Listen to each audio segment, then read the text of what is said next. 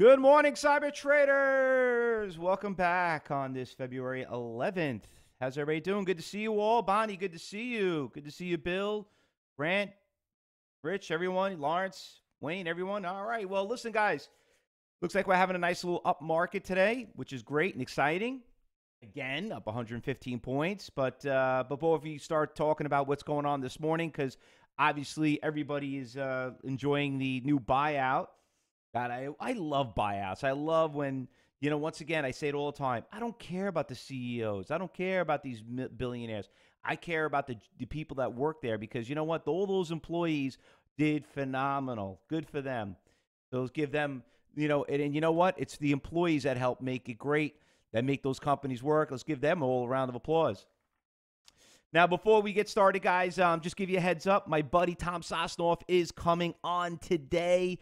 I hope every single one of you get registered. I got the link, I put it up there. You know, Tom, I've been friends with Tom for, Jesus, it's got to be maybe 15 years. He's the founder uh, of, of Thinkorswim. He's a great entrepreneur, great platform. He's going to talk about, he's going to talk about trading. You probably watched his show. You probably see me on a few times. D- take the opportunity. He is, the, he is great, Deb. He's a great options trader. Um, and we're going to talk talk to him about how we could day trade options.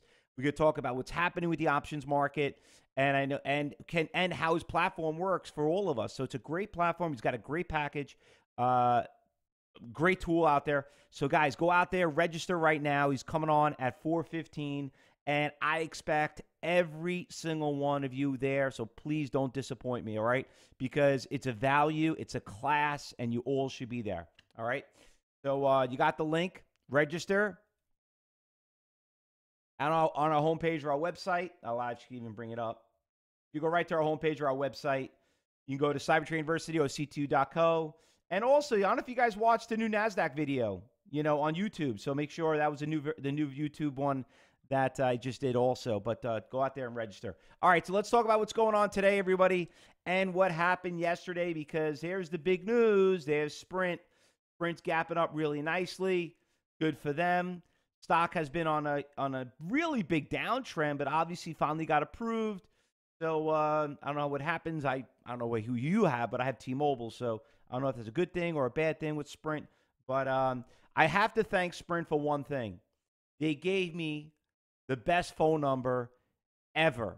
All right. Now I'm not going to make my phone number public, okay? My cell phone number, but I am going to tell you this. They gave me, I'll tell you my four my last four digits of my cell phone. Three thousand. And uh, I had people ask me all the time, could you sell me a cell phone number? I want to buy that number. 3,000. How do you get a 3,000 number? So I got th- it's the only thing I got to thank Sprint for. All right. Other than that, the service when I started wasn't that great. But uh, T-Mobile is awesome. But anyway, I'm happy for them and great. But listen, it's moving. It's still moving higher. I guess they didn't figure out the buyout prices, how it's going to work out. But just be careful with these buyouts because they are pretty nuts, all right, with that and T Mobile. But I do want to start off talking about some stocks that we traded and we did pretty well yesterday. Uh, CODX, want to bring that up. So, anyway, CODX was a great stock yesterday. We made a lot of money with it. And uh, the stock basically had a nice little trend, but then all of a sudden it tanked, you know? And uh, all I could say about this stock, let me just fix the chart on this one. All I can say about this stock is we made a lot of money on this stock. Thank God I got out. Listen, I traded this stock yesterday probably six times. I probably traded it, got in, got out, got in, got out, got in, got out. And I'm like, and you know what? Josh called out this stock. He comes in my office right at lunch. He goes, Fausto, you got to watch this CODX. I think something's going on. And it was right around here, around 320. But personally, I don't like to trade in the middle of the day. Um, because every winner that I would have had, most of them are losers. But sure enough, right at two o'clock, boom, I had that big spike, went from 320 to 420. But once again, this is what happens when you don't hold, you don't hold positions overnight. Because look where it ended up, right back to where it started. So anyway, that was a great winner for us. We did that was actually my biggest winner yesterday. So sorry if I was a little quiet going in the afternoon, but that's where I really made most of my money. Now, this stock got halted. Uh, obviously, news on IBM having employees uh, go out there and use and and work out of works. But uh, sure enough, you could see what happened. Boom, the thing just whatever got halted and gap down. So that's why don't ever you know you know and I know there's nothing worse than being in a stock that gets halted. The only time I feel that halted stocks ever work for us is when uh, when uh, when the when the circuit breakers blow on it because it went up too fast. But that's the only time I ever really kind of you know worked on that. And other you know, other than other than those other stocks that we traded, there were a couple other ones out there, but I thought those are pretty the good ones. Uh, Rite Aid also had a nice little move yesterday bring up Rite Aid, and then you know that was an early morning runner. But that really wasn't. Listen, it was Monday. It wasn't. a, You know, wasn't spectacular. Nothing like to you know to brag about. And you know that Tuesdays, Wednesdays, and Thursdays are the better days to trade. And yes, I do got a very decent list. So get your pen and paper ready, everyone. Let's start working our way down. All right. Oh, oh, oh also, I like I want to mention the CSQ guys. I talked about it yesterday. I've owned it for a few years now. For some of you missed it, they've raised their dividend from 8.5% to 9.5%. That's 12%. We killed it on CSQ. Great, great swing trade. Hopefully, everybody enjoyed it. And uh, especially, hopefully, a lot of you got into it when I bought it last year when we had the nice little Christmas crash, which was really the awesome right there, that Christmas crash right there. And uh, everybody should have had it right around $10 or whatever. But uh, that was probably that was probably my best winner swing trade because it really was up about 50%. And I get paid nine nine and a half percent money on that. Awesome. Got to love those stocks. Anyway, all right, so let's go through the watch list and see what's going on. There are a couple of stocks we know about Sprint. All right, so put Sprint on your watch list. So Sprint we already know about. Let's talk about some other ones that are moving. ADXS. All right, so we had a nice little pop in that one too.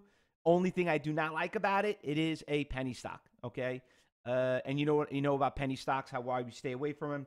But uh, I know I had a little bit of a pop early this morning. Some of you guys did pretty well on it, so that one was not bad. GNPX.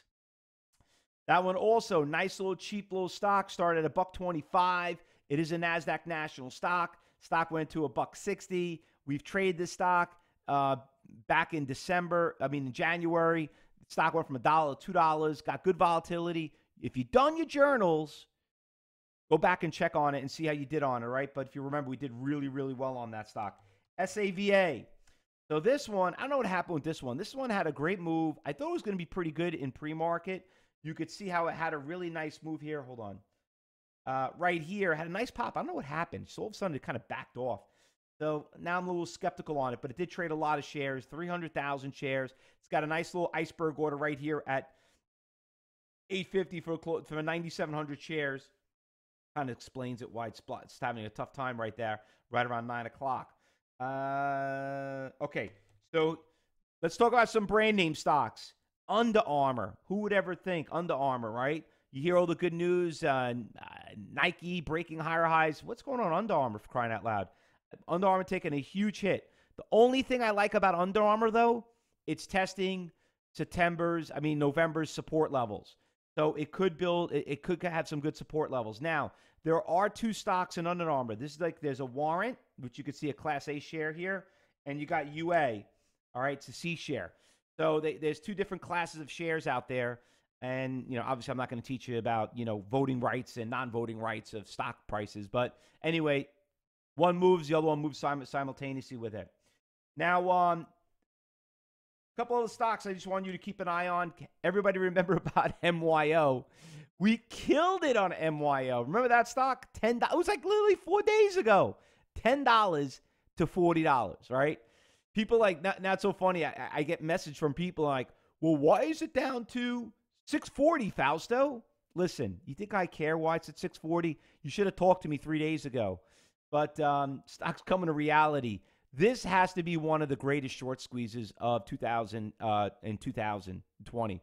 Uh, I thought it was Tesla. Now this one des- definitely is. By the way, keep an eye on that Tesla. I was listening. I was looking at some reports, reading overnight. There's some people have some big issues with that stock. There's a huge short squeeze on that stock, especially now. There's rumor that there's a rumor going around that Google might buy him because they have all the money in the world. Uh, consider paying $1,500 for that stock. So pretty scary right there. Anyway, NYCO was a great short squeeze. We killed it on that one. And I also want to bring up uh, DAO, another one that had a huge run up, but now it's coming back down. So we watched this stock go from 16 to 30, literally going up 100%. Now she's backing off. So just be very careful. The only issue I had with this stock right here, I know some of you trade it. It is a level five stock, which some of you really are not. And had, a, you know, and obviously this is something we're going to be talking in class today because remember classes start today here at Cybertrade University, and uh, it's all about tradable and non-tradable guys. Remember, the, the the most expensive part of your trade is buying is getting out of the stock. That's the most expensive part of trade because if you're wrong, it's not about the it's not about the ticket price, it's not about the ECN cost, it's all about the spread. Okay? So be very careful about this stock right here. All right, um what do we got going on over here? Uh Benito's looking at the ONTX trade.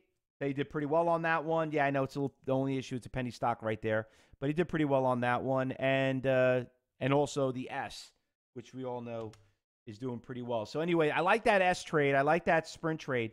It's uh, you know, it's not like. It, it, listen, it started this morning. Went from eight dollars if everybody got in at eight o'clock, and look, it's already at eight fifty. So you, it's always nice to start out the morning with a nice little push. All right, so those are our watch lists, guys. Not a big list, not a big list, but what it is what it is. And, uh, you know, we got what we have. So we always find new ones that do pop up. So when you see something, say something. Hopefully, all you new traders here and listeners that, uh, that are watching this on our broadcasting live on YouTube and, and Facebook. Listen, if you want to know more about Cybertrade University, just sign up and you'll get in the trading room. You'll see how we do it. All right. Uh, and then, like I told you, don't forget, everybody, Tom Sosnoff tonight. Well, this afternoon when the market closes at 4:15. Once he's done with his show, He's jumping on here at Cybertrade University, and he's going to talk about all the great things.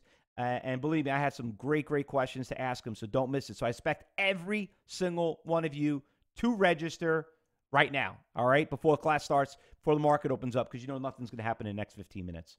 All right? Any questions, everyone? Anything else? Got the link right there. There you go. All right. So um, Remember, classes start right after this. Traders Talk starts at 12 o'clock. Um, afternoon classes are going to start, and you have the uh, Tom Sosnoff. Remember, it's a really busy, busy day. You do not go anywhere. This is what we do on Tuesdays. This is hump day, so it's time to put your head down and, and remember, make your money early, get into class afterwards, and because uh, that's how you're supposed to do it. All right, guys. Good luck, everyone. Happy trading. And uh, we'll be starting live commentary in the Cyber Group room in 15 minutes when the market opens up. All right. Meantime, get your registration done. See you all in class, everybody. Good luck and happy trading.